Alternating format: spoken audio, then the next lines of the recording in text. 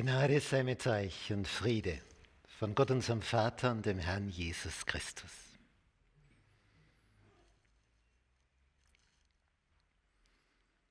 Zuerst die große Freude, zwei Söhne. Und dann wachsen die heran. Zuerst schaust du einmal, dass die in die Höhe kommen, dass sie nicht gleich wieder sterben. Und dann wachsen die heran und dann zeigt sich, unterschiedlicher könnten die wohl nicht mehr sein. Der eine wild, nur unterwegs. Der andere ganz gesittet, sitzt zu Hause. Eine ist ein Mama Schatzi, andere ist ein Papa Schatzi. Der Vater hat sich wohl gewünscht, dass er selber so gewesen wäre, was der sich traut und, und, und was der alles erzählt, wenn er nach Hause kommt, was er erlebt hat, wenn er mit Pfeil und Bogen wieder ein Wild geschossen hat. Und der andere, der kümmert sich um die Herde und um seine Mama, dass alles passt zu Hause. Sie ist entzückt von ihm der Papa ist entzückt vom anderen. Jetzt ist es aber so, dass der Himmel eine Information gegeben hat über die Zukunft von den beiden. Und das ist ja sehr bemerkenswert. In einer Zeit, wo es noch keine Ultraschalluntersuchung gab, wird noch vor der Geburt gesagt, wie viele da drinnen sind im Bauch, von welchem Geschlecht die sind und wie das in Zukunft sein wird mit Erstgeborenem und Jüngerem. Und die Mutter bekommt die Mitteilung, weil sie merkt, boah, da geht es ja runter drinnen, die kämpfen ja jetzt schon, was wird das werden? Darum will sie wissen, was da entsteht. Und daraufhin kriegt sie diese Information aus göttlicher Quelle das erstaunt man schon. Der Ältere wird dem Jüngeren dienen. Das weiß sie. Ich meine, mit älter und jünger, das ist ja recht interessant. Denn bei Zwillingen, dasselbe Geburtsdatum, außer der eine kommt eine Minute vor Mitternacht und der andere eine Minute danach. Aber es ist ja noch dichter hier, denn wie der erste rauskommt, hat der im Schlepptau den zweiten, der sich gedacht hat, nur keine Zeit verlieren und wozu selber Kraftanstrengung? Ich halte mich einfach fest und lass mich rausziehen. Ist genial? Bequem. Darum hat man ihn so benannt. Muss ja auch lustig gewesen sein, das zu sehen, dass der sich am Fuß da festhält. Und das heißt eben Jakob, einer, der den anderen am Bein hat. Also die kommen praktisch gleichzeitig heraus. Trotzdem, der eine ist der Erstgeborene. Und nach der Regel der damaligen Zeit ist der Erstgeborene in Zukunft der Chef. Dem haben sich alle anderen unterzuordnen. Das ist dann, wenn der alte Patriarch nicht mehr ist, der nächste Patriarch. Das ist der Erstgeborene der kriegt den Besitz und wird dann nach seinem Vermögen und Ermessen den anderen auch was zukommen lassen, dass die nicht verhungern. Aber er verteilt. Gleichzeitig ist er auch der geistliche Führer. Bist du das? Als Mann zu Hause? Führst du deine Familie geistlich? Sorgst du dafür, dass deine Familie dranbleibt, dass das wichtig ist? Dass das immer wieder im Vordergrund steht? Zeigst du das auf? Das erwartet Gott von dir. Das ist ganz, ganz entscheidend. Das ist unsere Aufgabe, wir Männer. Dass wir darauf achten, dass das ganz, ganz ganz hoch oben steht in unserer Familie und nicht überrollt wird von anderen Dingen. in jeder Hinsicht, dass das das Erste ist. Darum gefällt mir das hier so, was man da vorne sieht. Das Wort Gottes. Ein herrliches Bild. Nun, in der Familie, sie weiß also, geistlicher Führer soll der Erstgeborene sein. Er weiß es, der Papa, geistlicher Führer, der Erstgeborene. Nun, dieser Esau ist alles andere als ein geistlicher Führer. Das ist ein Rebell, der tut einfach, was er will. Ein Wildfang, mutig, hat vor nichts Angst, unbeherrscht. Der andere still, zurückgezogen, hört zu, die Bibelgeschichten, kennt sich aus, möchte eine Verbindung nach oben. Dem ist es wichtig, dieses Element. Damit ist es für Rebecca, die Mama, klar, Jakob muss der geistliche Führer sein. Der andere ist ja völlig untauglich. Für den Vater ist es klar, der Esau, der, der, der, der zeigt, wer der Führer ist. Der wird der Stammesführer. Der kann das richtig. Naja, das Geistliche, das merkt er auch, das ist nicht so. Und immer wieder, und vielleicht habt ihr das in eurer Ehe schon bemerkt, kommt der weibliche Teil und informiert, wie es eigentlich sein sollte.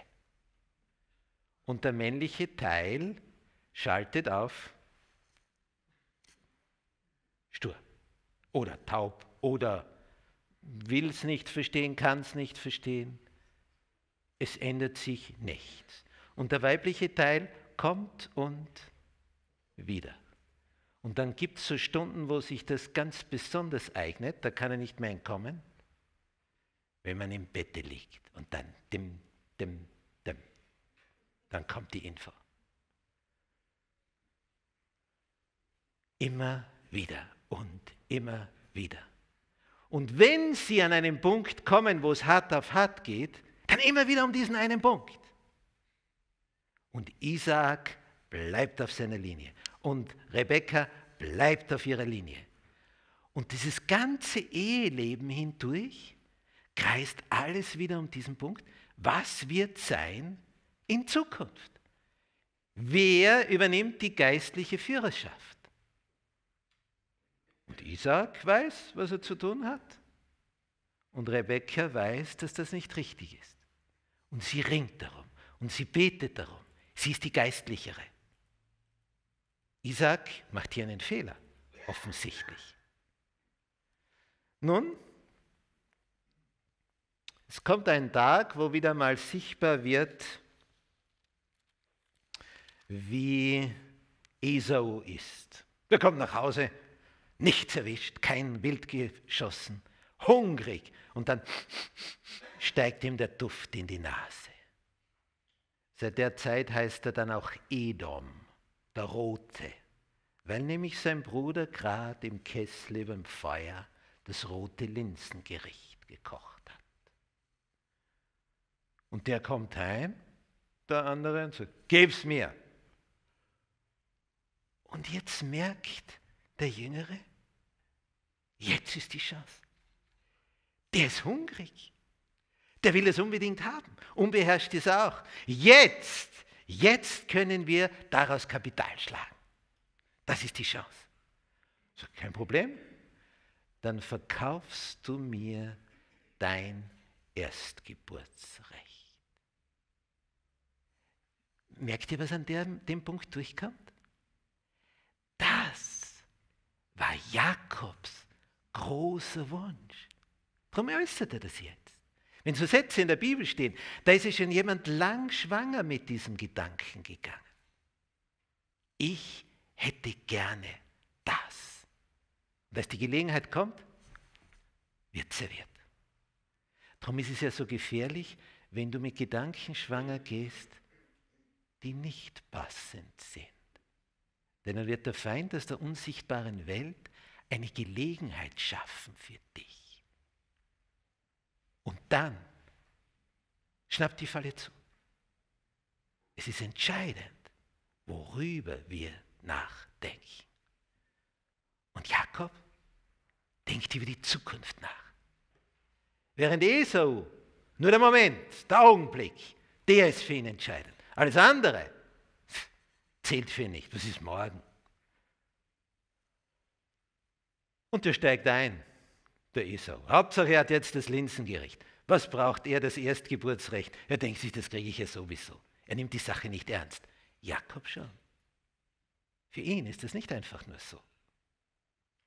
Und die Rebekka betet und wartet und redet auf ihren Mann ein. Sie betet, wartet und redet auf ihn ein. Und die Jahre vergehen. Und dann kommt Isaac zu dem Punkt, wo er merkt, es dauert nicht mehr lang. Und Rebekka, nachdem ihr Mann schon blind geworden ist, ist natürlich immer irgendwo in der Nähe und die Abtrennungen in diesen Zelten sind einfach Decken. Und da geht so manches vom Klang hindurch. Und als sie hört, wie Isaak den Esau ruft und ihm sagt, schieß mir ein Wildbrett und dann bereite es zu und dann, und dann durchzuckte sie. Und dann die Übertragung auf die Führerschaft und die geistliche Führerschaft. Und bis zu der Minute hat Rebecca gewartet. Sie hat gewartet. Aber jetzt, jetzt ist der Punkt erreicht, wo sie sich sagt, jetzt muss ich handeln. Jetzt geht es nicht mehr länger. Denn in der nächsten Zeit, wenn der jetzt zurückkommt, ja, dann, dann, ist es geschehen. Und wenn es einmal erteilt ist, der Segen, dann gilt das und jetzt muss ich irgendwas unternehmen. Und sie hat hier schon lang einen Plan. Sie hat schon lange etwas durchdacht. Und jetzt kommt es zur Ausführung. Der Esau ist noch kaum verschwunden, holt sie sich schon den Jakob her und sagt, Junge, jetzt machen wir Folgendes. Tak, tak, tak, tak, tak. Der sagt, ah, das ist ein Betrug, das ist eine Lüge. Mein Vater, wenn der draufkommt, außerdem, wenn ich da reingehe, der kennt ja meine, meine Stimme und und dann, wenn er mich angreift, meine Haut ist, ist wie bei einem Baby und beim Esau, der ist mehr so wie die Tiere, die so im Zoo herumlaufen, also voller Haare. Wie soll ich da? Das ist unmöglich. Auch wenn er blind ist. Die Blinden hören ja bekanntlich besonders gut, können Stimmen ganz genau unterscheiden. Das, das, das will ich nicht tun. Am Ende wird aus dem Segen ein Fluch. Und die Mama wird ganz streng und sagt, mein Sohn, du bist mein Sohn.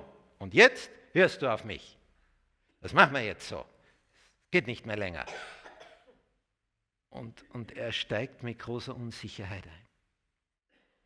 Und wenn wir diese Geschichte lesen, weiß nicht, ob euch das auffällt, der Isaac stellt Fragen. Also wenn ich an Jakobs Stelle gewesen wäre, wenn man das so liest, der kommt da herein und das Erste, wir lesen das im ersten Buch Mose, Kapitel 27, wer bist du, mein Sohn? Wie kann man nur so eine Frage stellen? Ausgerechnet die Frage, wer bist du? Ja, der sagt dann, äh, ich bin Esau. Und dann sagt er, ja, und wie hast du so bald das Wild gefunden? Wieder so eine unangenehme Frage. Naja, Gott bescherte mir's. Da wird man dann ganz fromm in seinen lügenhaften Antworten.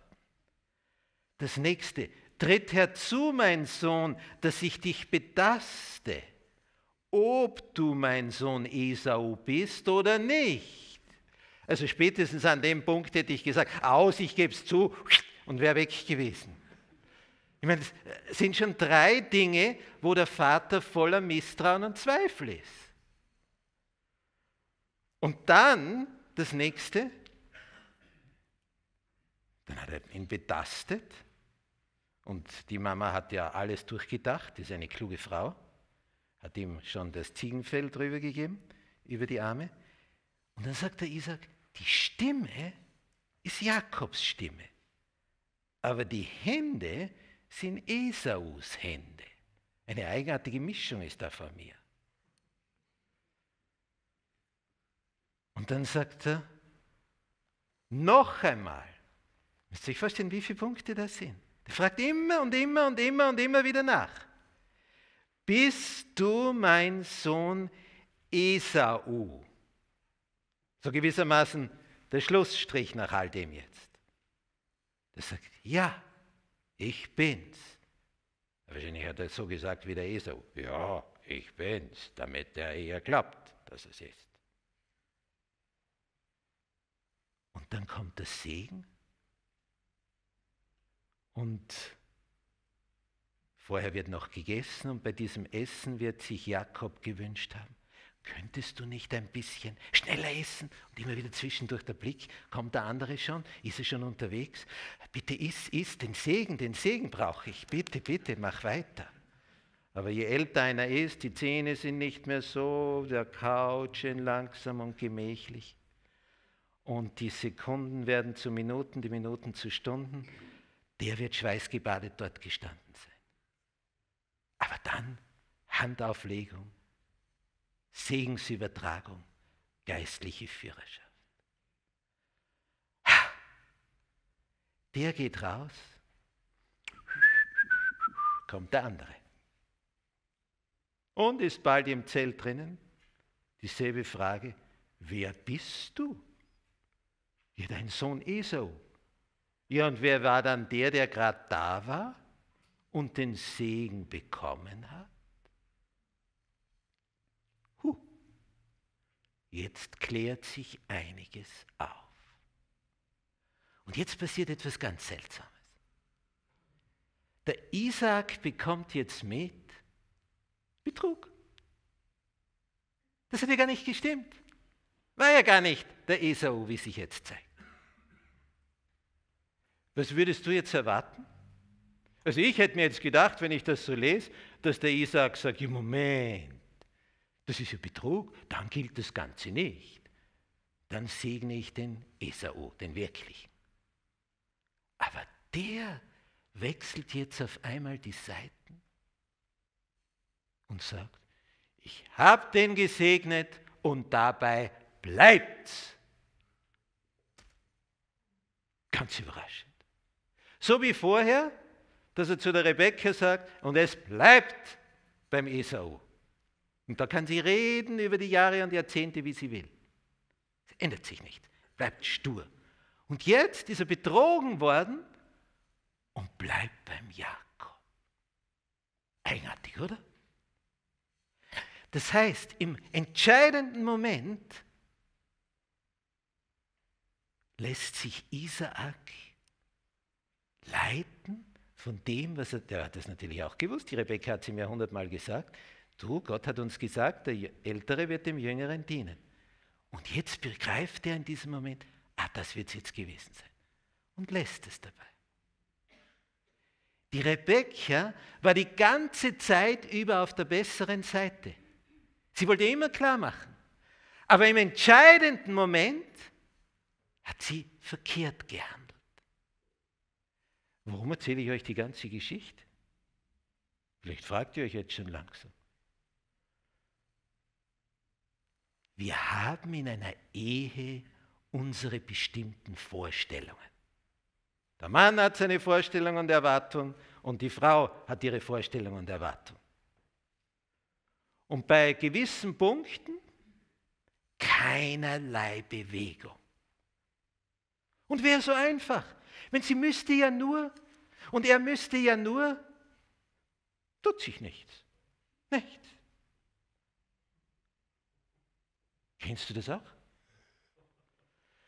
Wir haben hier dieses seltsame Phänomen, dass jeder auf seinem Platz, mit seiner Haltung, in seinem Denken, bei manchen Punkten so fest eingefahren ist, das ist wie Beton.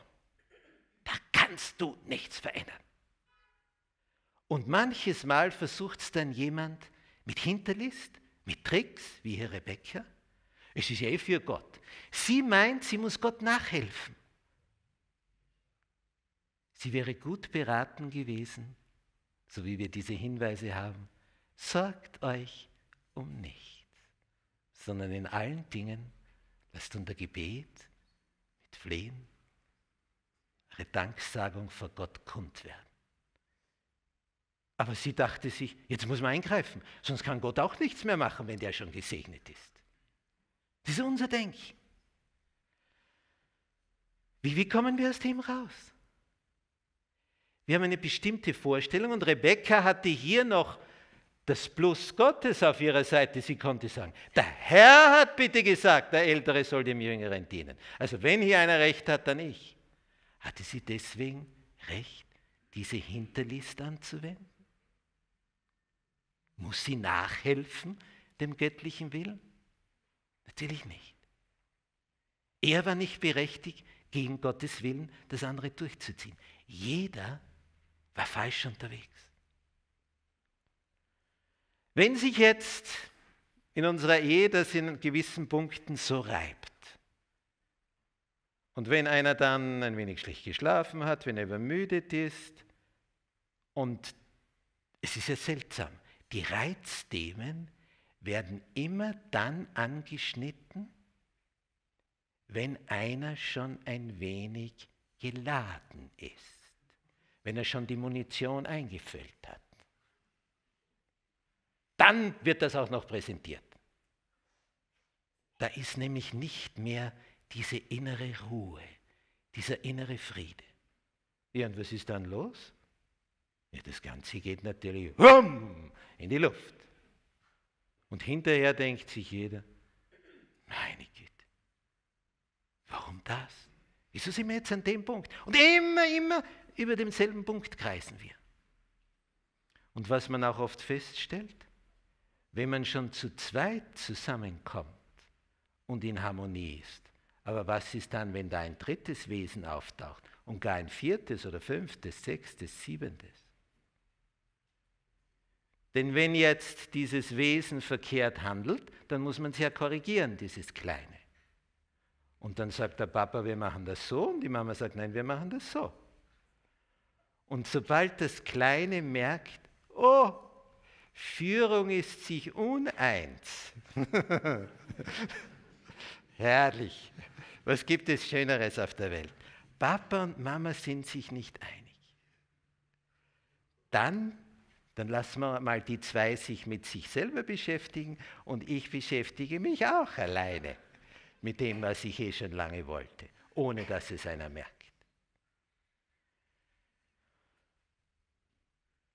Wie kommen wir raus aus dem Ganzen?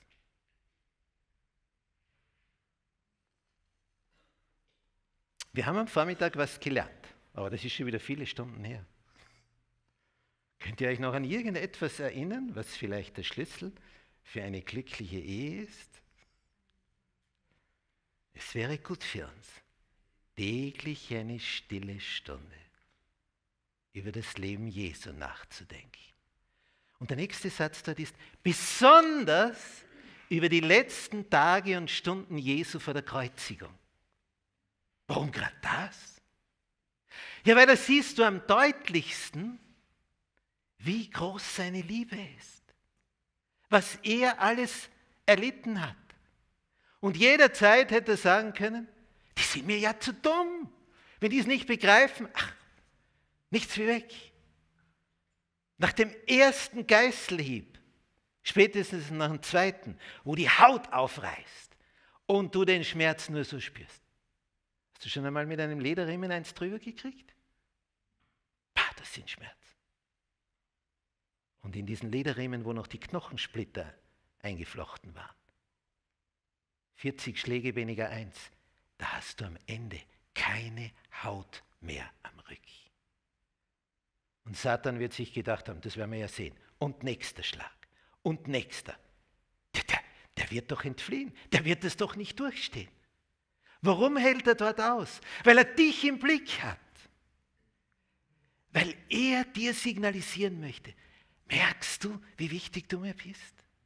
Merkst du es? Ich stehe das hier durch bis zur Ohnmacht, damit du begreifst, dass dein Schöpfer dich lieb hat.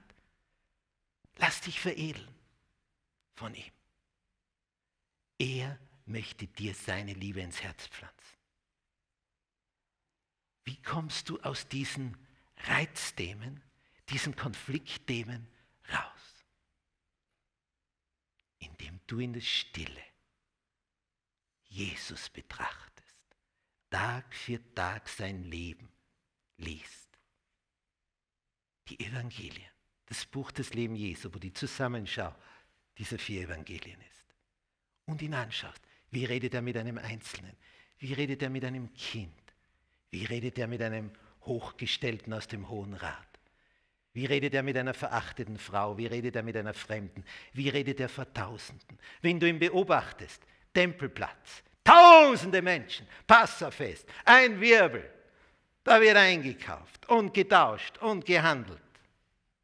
Man hat dir extra für den Tempelbezirk eine eigene Währung eingeführt, damit du nur mit dieser Währung dort kaufen kannst. Und du musst vorher wechseln dein Geld in die Tempelwährung. Und wer verdient bei jedem Wechselumtausch? Natürlich der Wechsler. Und die Münzen hat er auf der Bank. Darum haben wir heute das Wort Bank. Diese Menschen dort voller Geldgier. Jetzt kommen wieder alle zum Fest. Hurra! Jetzt machen wir wieder unseren Jahresumsatz. Und dann erscheint in dem Torbogen er. Jesus erscheint im Torbogen. Und was geschieht? Die Ersten vorne merken, das scheint ihm nicht zu passen, was wir da tun. Die werden still. Die Nächsten werden still. Der Tempelplatz, der war so voller Lärm anfangs. Und am Ende wird es mucksmäuschenstill. Und alle schauen zu diesem Torbogen. Und dort steht er. Merkt ihr, was da für eine Autorität ist? Und er sagt einfach, trag das hinaus. Und die tragen es hinaus. Und weil sie ein, ein wenig langsam sind, hilft er ein bisschen nach. Stößt die Tische um, die Bänke um und die Geldmünzen. Bing, bing, bing, bing, bing, bing, bing. Und dann siehst du, wie der nachrennt und der nachrennt. Und am Ende sind die alle draußen. Und dann kommen die anderen und scharen sich um Jesus. Und er heilt sie. Wenn du das so betrachtest, dann wirst du anders werden. Und wenn du anders wirst, wird dein Partner anders werden. Wir verändern den anderen, indem wir uns verändern. Weil der muss sich ja auf eine neue Gegebenheit einstellen. Wieso ist die jetzt auf einmal so? Wieso ist die jetzt auf einmal so? Immer wenn ich mit dem Streitthema angefangen habe, dann kam als nächstes der Satz und diesmal Gelassenheit, Ruhe, Freundlichkeit. Du bist völlig irritiert. Bist du eingeschossen auf ein Muster. Ich sage den Satz, der andere sagt den Satz, der den, der den und dann bum, bum, bum, bum, bum. Ist immer das gleiche Muster, oder? Eine rituelle Gewohnheit, die entsteht. Und auf einmal wird es durchbrochen.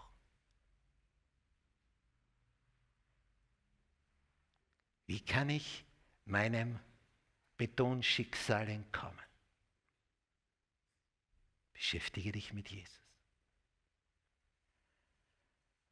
So als Seelsorger hörst du ja Geschichten. Da könntest du oft nur so weinen. Erzählt mir eine Frau, was ihr Mann so treibt. Sie Sie kann es gar nicht mehr zählen, mit wie vielen er fremd gegangen ist. Und dann kommt sie zu dem Punkt, wo sie sagt, entweder bringe ich mich um oder ich laufe davon, aber ich pack's nicht mehr. Und der das nicht erlebt hat, der kann locker auf seinem Platz sitzen. Aber wer sowas kennt, das ist jedes Mal so ein Schmerz. Und immer wieder wird das Alte aufgerührt. Und das dringt tief ein, wie ein Pfeil. Und dann kommt sie zu dem Punkt, wo sie ganz, ganz intensiv für die Rettung ihres Mannes zu beten beginnt. Ganz intensiv. Für dieses Scheusal möchte ich ihn jetzt mal benennen, wie er sich ihr gegenüber verhält. Und sie betet. Und sie sieht ihn mit anderen Augen. Und mit der Zeit kommt der zu ihr und sagt, du bist so anders. Was ist? Was hast du vor? Sie sagt, ich möchte, dass wir, wenn Jesus kommt, Arm in Arm von den Engeln geholt werden. Das hat ihn so bewegt. Und was über Jahre nicht funktioniert hat, begann sich langsam zu verändern, weil sie auf einmal eine Liebe ausgestrahlt hat, die er vorher so nicht erlebte. Sie war anders geworden. Er war ganz durcheinander.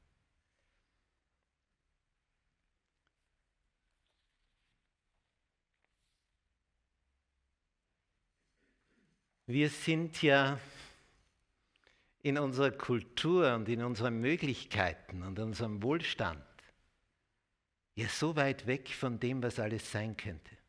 Erzählt mir eine Frau, die ist jetzt schon über 90. Bei so Hausbesuchen, wenn du da so Lebensgeschichten hörst, da, da mag ich gar nicht mehr fortgehen, da könnte ich ewig dort sitzen. Was ich da lerne, da erzählt die, es war im Zweiten Weltkrieg, die Männer alle an der Front und dann hat einer Heimaturlaub. Und dann verlieben sich zwei. Und naja, der muss ja bald wieder in den Krieg. Schnell, schnell heiraten. Und sie muss in den Ort und ihre Papiere zusammenkramen, ihre Dokumente und er und dann Treffpunkt am Bahnhof. Sie ist natürlich schon viel früher dort.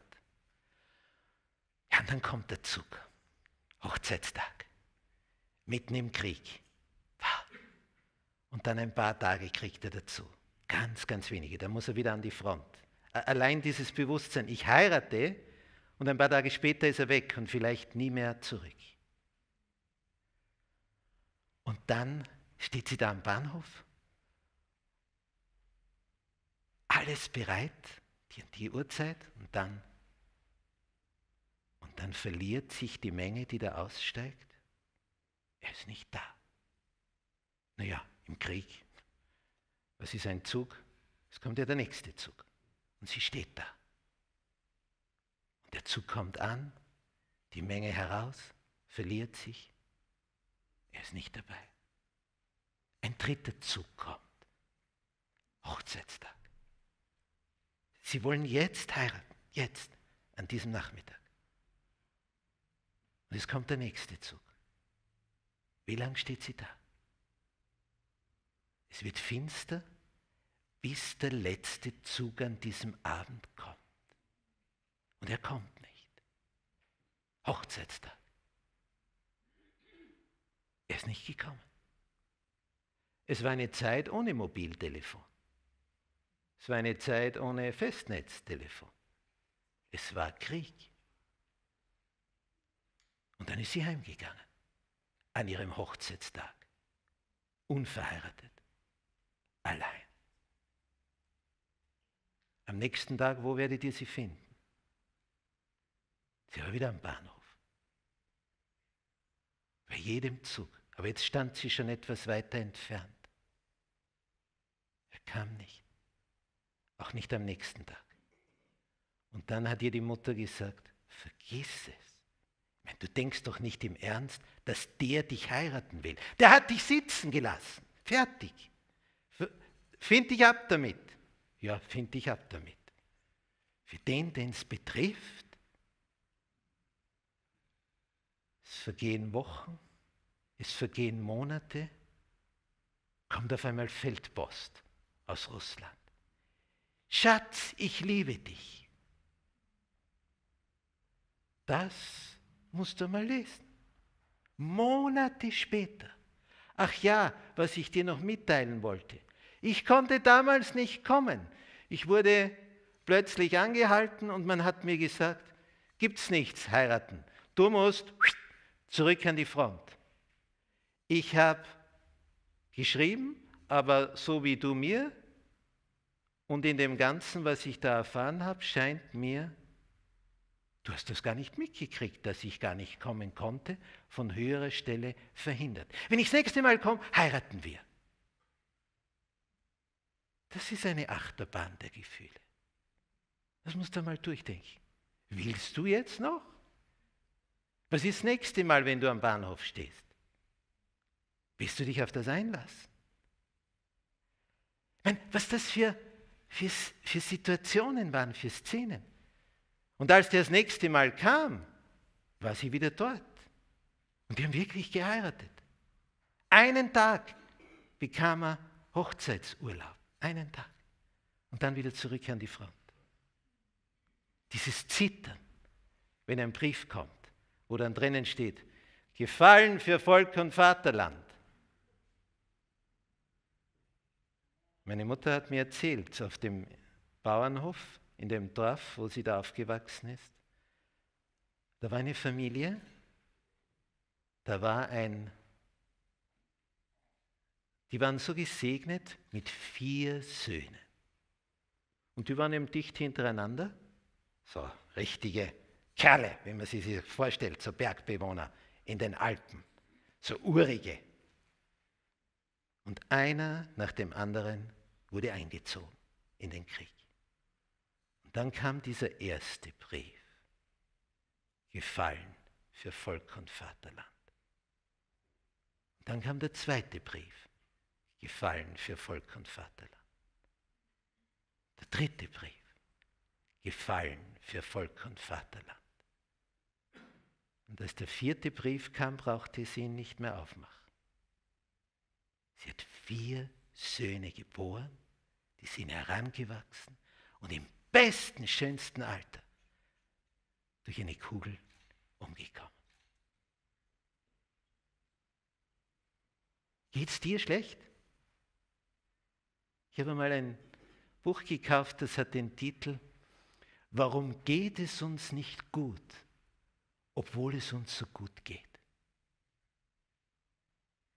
Und da beschreibt er in dem Buch eine, ein Gleichnis, eine Geschichte. Da ist so ein Hof und da watscheln die Gänse durch die Gegend. Und plötzlich werde ich ganz nervös auf diesem Bauernhof. Umgeben, Gitter, denn oberhalb von ihnen Wildgänse fliegen drüber.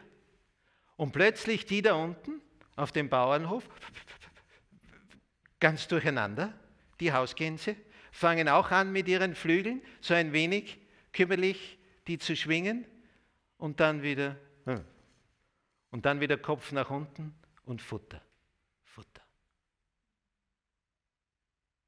Und dann beschreibt der das so. Was bist du? Bist du in dieser Wohlstandsgesellschaft so eine Hausgans geworden? Die nur mehr so ein wenig, ein paar Meter nach vorwatschelt und zurück und nur mehr njam, njam, njam, njam. Oder hast du die Freiheit erlebt?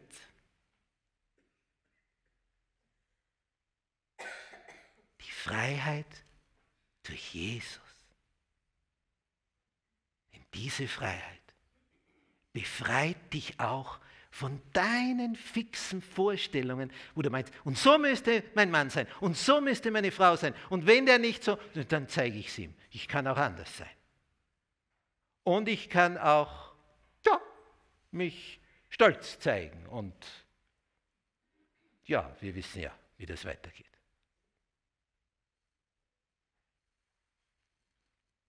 Wir denken, wir hätten Probleme.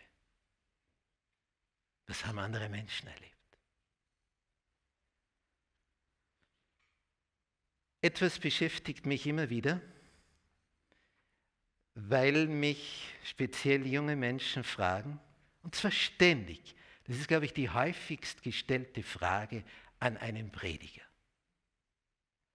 Was ist der Wille Gottes in meiner Situation, für mein Leben, in Bezug auf Berufsausbildung, in Bezug auf Partnerwahl? Soll ich den oder den? Oder wenn da überhaupt niemand in der Auswahl ist, weiß der da oben von meiner Sehnsucht? Da steht doch in der Bibel, es ist nicht gut, dass der Mensch allein sei. Und? Wo ist da wer? Jemand entsprechender. Und wenn man dann über diese Thematik so nachdenkt und so die einzelnen Gesichter vor sich sieht und sich da hineinzuversetzen versucht, wie es denen so geht, und sich fragt, ja, wie könnte ich da helfen? Durchzuckt es mich auf einmal. Ja, das ist ja ganz leicht, die Antwort. Das ist ja ganz einfach, dass ich da nicht früher drauf gekommen bin. Die fragen mich, was ist der Wille Gottes? Wen sollen sie fragen? Ab jetzt sage ich immer, das fragst du mich. Wenn du wissen willst, was Gott von dir will, musst du Gott fragen. Erledigt. So einfach ist das. Aber dann habe ich festgestellt, nach dieser einfachen Antwort, dass die sagen, gut, und wie geht das, Gott fragen? Oje, schon wieder bin ich dran.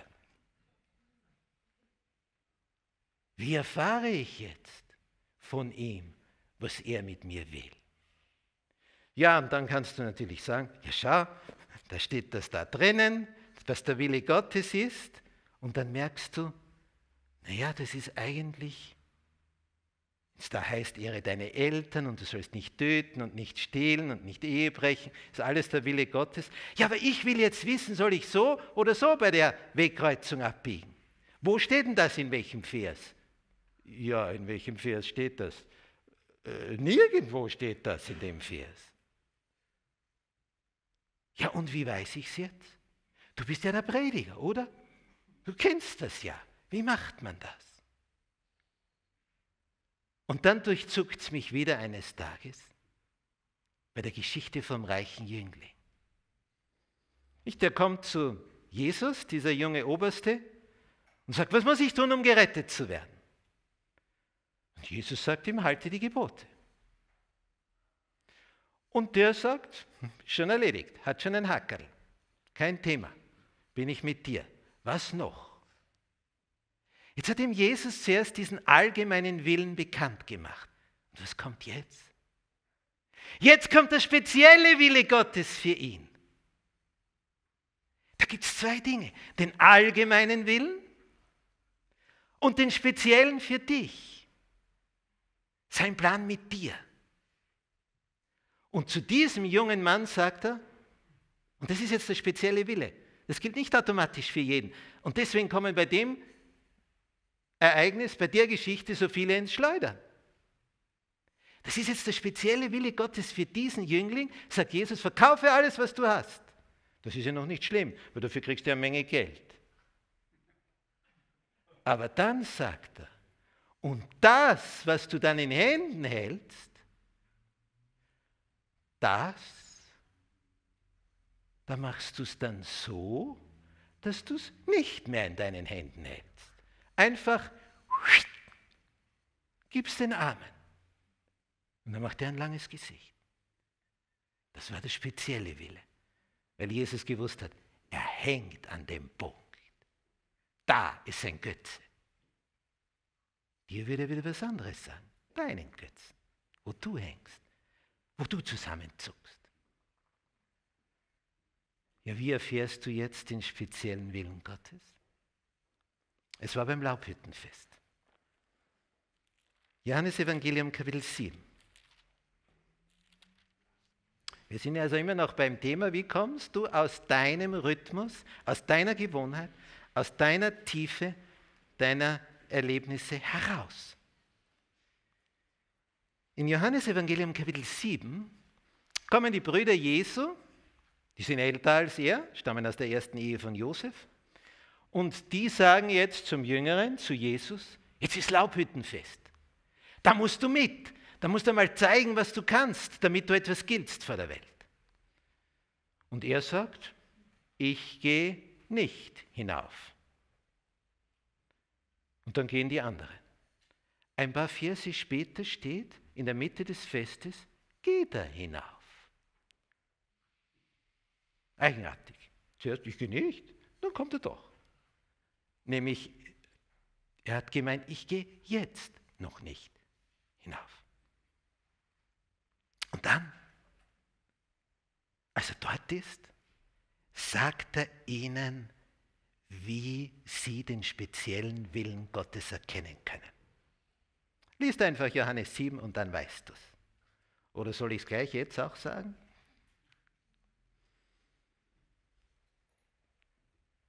In Vers 15 lesen wir, die wundern sich, als sie Jesus hören.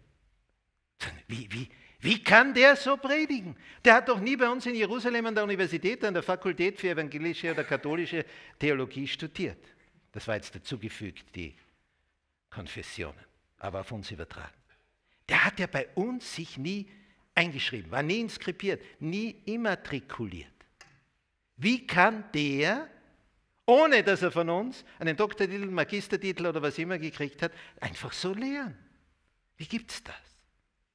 Und dann gibt Jesus eine Antwort. Meine Lehre ist nicht von mir, sondern von dem, der mich gesandt hat.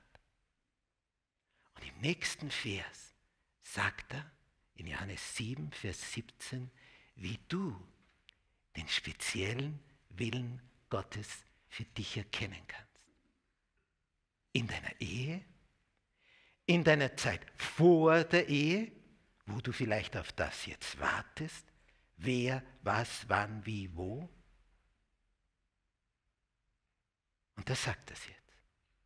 Und vielleicht möchtest du wissen, wie, wie, was könnte ich für dich noch tun? Was hättest du denn gern von mir? Denn keiner kennt dich so wie er. Und das sagt er jetzt in Vers 17. Wenn jemand Gottes Willen tun will, dann wird es inne werden. Das ist es. So einfach ist es. Wenn du Gottes Willen tun willst, wirst du es erfahren. dann habe ich das ganz stolz dem Ersten erzählt. Dann hat er gesagt, ja, aber da muss ich ja, was heißt das jetzt? Wenn ich Gottes Willen tun will, dann werde ich es erfahren. Ich will vorher wissen, was Gott will, dann weiß ich, ob ich es tun will. Ist ja klar, oder? Und Jesus sagt, na, es ist umgekehrt. Zuerst kommt es darauf an, dass du sagst, ich bin willig, was immer es ist. Hui, das ist ein Blankoscheck, oder? Kann andere alles eintragen. Das ist höchst gefährlich. Enorm spannend. Aber so erfährst du den speziellen Willen für dich. Aber wir sind immer so unterwegs. Herr, sag mir, was es ist. Und ich sage dir dann, ob ich dafür bin. Und er sagt, nein, es ist umgekehrt. Du sagst zuerst, ob du willst. Dann sage ich dir, was es ist. Die meisten Christen, und ich meine jetzt Christen, die wirklich das Wort Gottes kennen, die einen Gottesdienst besuchen, die das Wort Gottes hören, einfach ihr. Die meisten kommen nie über den allgemeinen Willen hinaus. Den kennen wir. Nicht wir wissen, was gut ist und was schlecht ist, was man nicht tun soll. Aber weißt du den speziellen Plan, den dein Papa im Himmel für dich hat? Den erfährst du dann, wenn du willig bist, ihn auszuführen.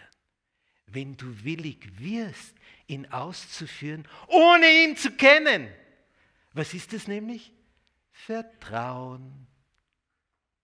Vertraust du ihm, dass das, was da kommt, für dich wertvoll und gut ist? Warum wollen wir es vorher wissen, bevor wir sagen Ja? Ja, weil wir uns vielleicht denken, also na das, so wie der reiche Jüngling, nur wenn ich das gewusst hätte, hätte ich gar nicht gefragt.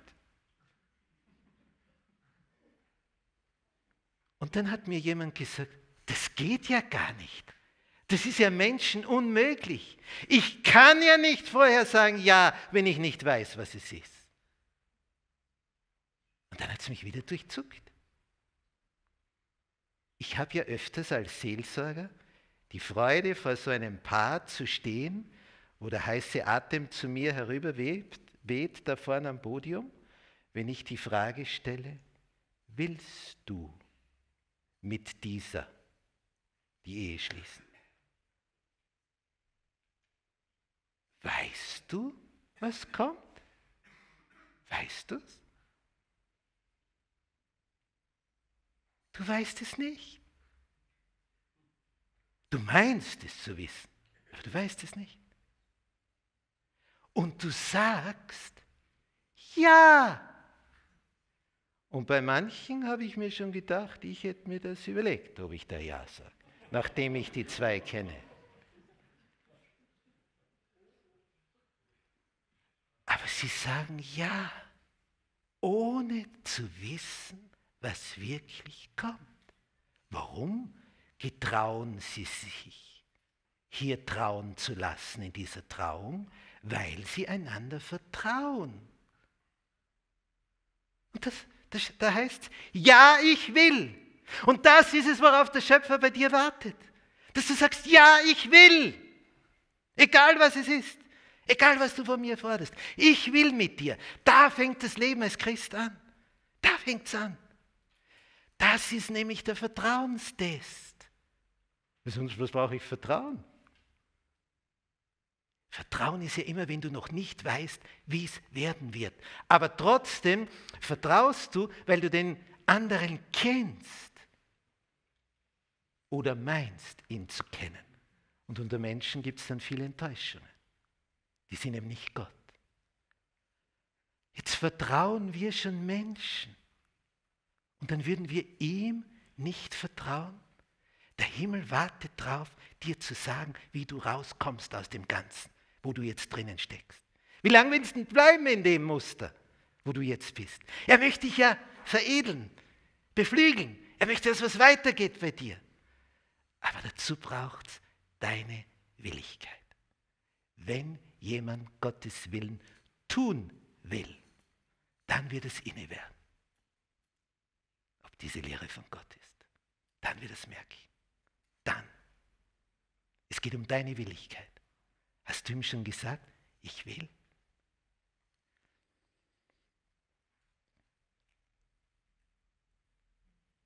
Immer wieder passiert es, dass so ein junger Mensch vor mir steht und sagt, ich weiß, was du jetzt sagen wirst als Prediger und ich mache es trotzdem. Sehr ermutigend. In Anführungsstrichen. Ich habe da jemanden kennengelernt. Ist so lieb und ist so nett. Und was ist das Problem? Naja, naja, äh, ja, also die, die, die Bibel nimmt er nicht so ernst. Was meinst du damit? Ja, da liest er nie drin. Ja, und sonst, man kann mit ihm nicht drüber reden. Und du willst ihn heiraten.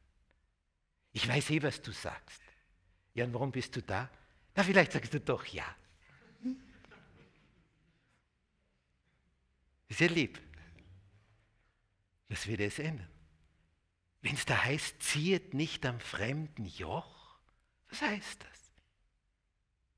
Es funktioniert nicht. Habe ich hunderte Male gesehen. Es funktioniert nicht.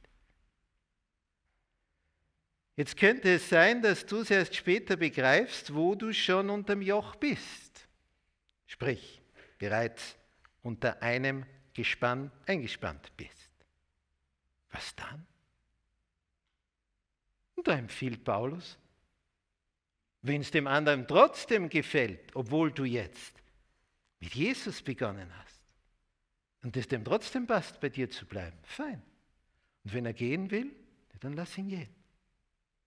Du hast ja jetzt jemand, mit dem du durchs Leben gehen kannst. Du bist jetzt nicht mehr allein. Das ist ja das Schöne. Denn Jesu Liebe legt sich um dich wie ein wärmender Wintermantel. Geborgenheit, Schutz, Sicherheit, da kannst du dich anlehnen.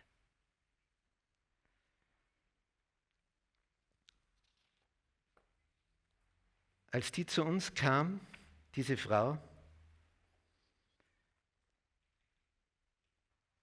also da muss ich ganz ehrlich sagen, na, ich schilder euch einmal die Situation.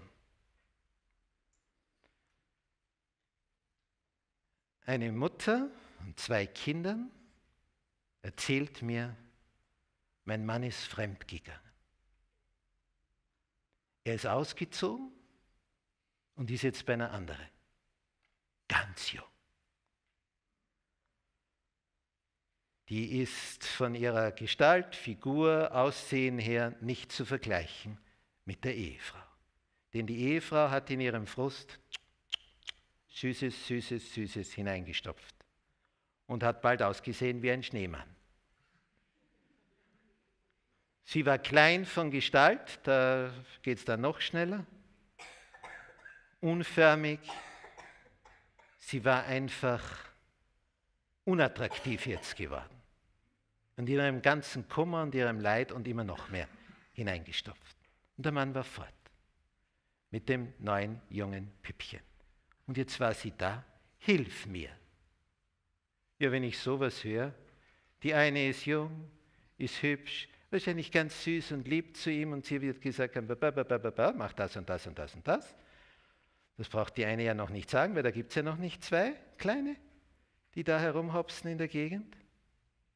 Der Zug ist abgefahren, den siehst du nie wieder. Aber was wir dann gemacht haben, wir haben das Wort Gottes betrachtet. Wer ist Jesus? Immer wieder ist sie gekommen. Und speziell meine Frau, Stunden über Stunden verbracht. Und dann kommt sie eines Tages und sagt, die neue von meinem Mann ist schwanger. Ui. Noch eine Ladung dazu. Also jetzt, jetzt können wir es endgültig abhaken, die Geschichte. Jetzt gründet er eine neue Familie. Das Kind kam zur Welt und eines Tages kommt sie und sagt, ich habe meinen Mann mit seiner neuen besucht. Mich hat es durchzuckt. Mein Gedanke, hättest mich vorher gefragt. Keine gute Idee, dorthin zu gehen. Das wird nicht gerade harmonisch ablaufen, so etwas. Und dann schildert sie, wie das war. Also ich kam dahin und habe. Dann öffnet wer die Tür? Die neue. Die stehen sich jetzt gegenüber. Spürt ihr, wie da die elektrostatische Aufladung vor sich geht? Das knistert nur so. Die ist völlig perplex, die die Tür öffnet die vor der Tür steht, nicht. Sie hätte gewusst, irgendwer von den Zweien öffnet. Aber die andere hat nie damit gerechnet, dass die verflossene Ehefrau da jetzt steht. Und in dieser Situation, die bringt im Augenblick gar kein Wort heraus. Und die bisherige Ehefrau sagt, ich würde gerne meinen Mann sprechen. Boah. Das ist natürlich ein Reizthema in so einer Situation. Die kriegt einen Schreikrampf, die neue. Wird hysterisch in dem Ganzen. Die flippt völlig aus. Sodass dann der Ehemann erscheint. Ich denke, was ist da los? An der Tür, uh, beide. Das ist natürlich nicht ganz einfach, die Situation. Und dann schreit die Neue, hören Sie auf, um Ihren Mann zu kämpfen. Und dann sagt die bisherige, einen Satz hätte ich ihr nie zugetraut. Die sagt, ich brauche um meinen Mann nicht kämpfen. Um den kämpft ganz jemand anderer. Boah, die ist gewachsen in meinen Augen. So eine Reife. Hätte ich ihr nie zugetraut. Ah, genial. So eine Weisheit. Das nächste, sie nennt ihn liebevoll bei ihrem Vornamen und im sanftesten Flötenton. Komm, pack deine Koffer. Ich warte im Auto auf dich. Dreht sich auf dem Absatz um und geht. Und wartet im Auto. Die Idee allein zu haben. Und dann wartet sie im Auto und was sieht sie im Rückspiegel? Es kommt einer mit zwei Koffern, macht hinten auf, gibt es hinein, steigt ein und sie fährt ihn als Taxichauffeurin nach Hause. Die Ehe ist wieder gesundet. Also wenn ihr mich gefragt hättet vorher, glaubst du, dass das noch etwas wird? Ja, wie geht das mit der Wahrscheinlichkeitsrechnung? Das kannst du vergessen. Die eine, jung, hübsch, Baby geboren. Und da, die, die unförmig geworden ist, aber durch dieses Studium mit Jesus war sie wieder attraktiv geworden. Denn sie hat was Neues, Süßes entdeckt, das Wort Gottes. Jetzt brauchte sie nicht mehr die Bonbons und die Schokolade und so weiter. Übrigens ein heißer Tipp. Habt ihr das einmal gesehen bei einem Gesundheitsvortrag? Klammer auf, nur kurze, kurzes Intermezzo. Hat ein Arzt 30 Schlangengurken da vorne aufgebaut und daneben eine Tafel Schokolade. Und dann hat er eine Frage gestellt. Was haben die miteinander gemeinsam? Ja, auf das wäre ich nie gekommen gleich viele Kalorien. Hast du schon einmal 30 Schlangengurken verzehrt?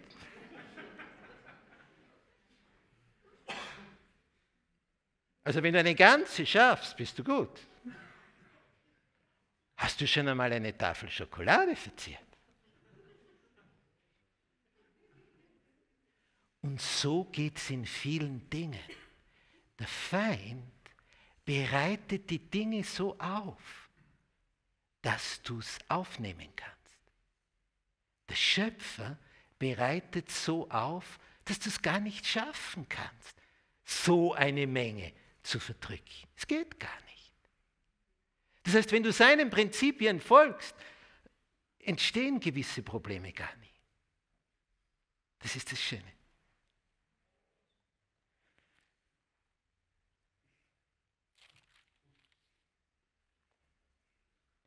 Es gibt ein Zitat aus der Bibel. Da bin ich jetzt drauf gekommen, das kennt jeder Mann. Ich habe noch keinen getroffen, der die Bibel ein bisschen liest, der noch nicht diesen Vers gefunden hat. Und jetzt können wir ja den Test machen, ob irgendein Mann da ist, der den Vers noch nie gehört hat. Ihr Frauen ordnet euch euren Männern unter.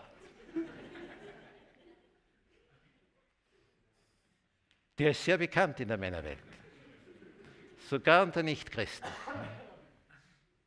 Der nächste Vers ist wieder nicht mehr so bekannt. Der lautet nämlich in Epheser 5, Vers 25, ihr Männer, liebet eure Frauen, wie auch Christus die Gemeinde geliebt der hat sich in den Tod begeben für sie. Der ließ sich auspeitschen für sie. Ließ sich kreuzigen für sie. Solch einem Mann sich unterzuordnen, ja, das ist eine Kleinigkeit, wenn dich einer so lieb hat. Es kann nicht eine eines ohne das andere sein. Wenn das nicht ist, ja, dann kann auch das nicht sein. Aber wenn du als Mann, weil du dich mit dem beschäftigst, so erfüllt bist von dieser Liebe, ja, dann wird da sich auch ein Schmusikätzchen herausstellen auf der anderen Seite. Und für dich als Frau wird es leicht sein, deinen Mann zu achten wenn er sich so verhält, dass du ihn achten kannst. wenn er sich so verhält, dass er würdig ist in dem, was er tut. Wie können wir unserer verkorksten Situation entkommen? Wir brauchen Liebe. Und die bekommst du in der Stille vor ihm. Und wenn du liebevoll wirst, dann wird sich was tun. Dann wird sich in eurer Beziehung was tun. Und wenn du noch nicht in dieser Beziehung bist und noch auf das wartest, das noch vor dir hast, eine noch größere Chance, wenn du da vorher schon liebevoll wirst, weil dann wird der auf dich aufmerksam werden, der das schätzt. Das ist das Schöne, das Besondere an dem Ganzen. Und dann gibt es aber manchmal etwas, und mit dem kämpfen wir, der Zeitfaktor. Denn wenn wir uns etwas wünschen, für wann wünschen wir uns das, was wir uns wünschen? Nicht so wie der eine, der sich Geduld wünscht, aber plötzlich. Es hat sich gezeigt, dass die, die am längsten warten mussten, das Beste bekamen. Und wenn du jetzt denkst, warum muss ich so lange warten? Möchtest du nicht was Besseres? Ach so. Alles klar?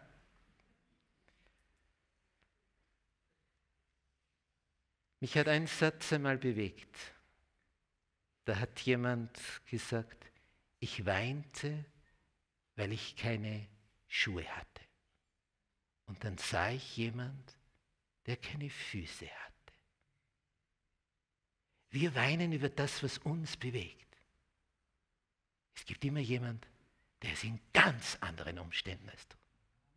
Ganz anders. Viel tiefer. Viel, viel tiefer.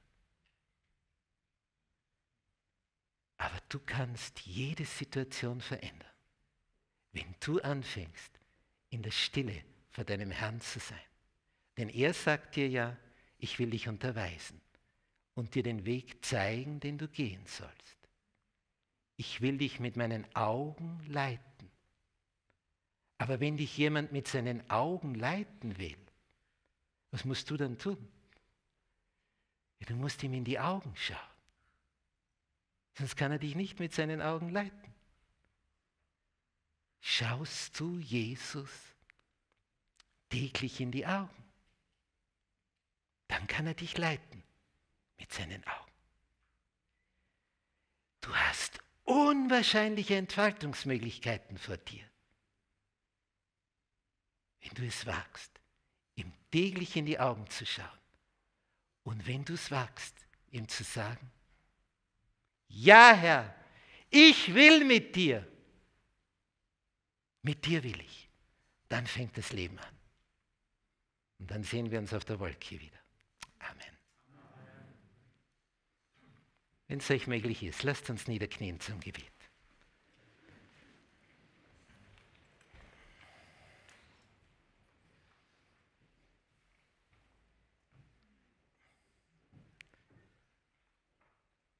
Zu unser Herr Jesus, der du uns vorgelebt hast, was echte Liebe ist, der du unermüdlich in einer Selbstbeherrschung ohne Gleichen deinen Weg gegangen bist, Stück um Stück, durch nichts, durch absolut nichts hast du dich aufhalten lassen. Und wenn du noch so hast leiden müssen. Du hast uns im Auge gehabt. Was aus uns werden könnte, wenn wir uns mit dir verbinden. Und es ist so schön, dass du gesagt hast, dass der frei wird. Derjenige die Freiheit erfährt, der sich an dich bindet. Wie schön, Herr, dass Bindung an dich zu wahrer Freiheit führt, dass wir aus Hausgänsen zu Wildgänsen werden, dass wir rauskommen aus unserem engen Gatter und erfahren, was du für uns geschaffen hast. Danke, dass du uns nahe bist und dass du jeden segnest, der zu dir sagt, Herr, ich will, ich vertraue dir, komme, was da will. Danke, Herr Jesus, für deine Liebe. Amen.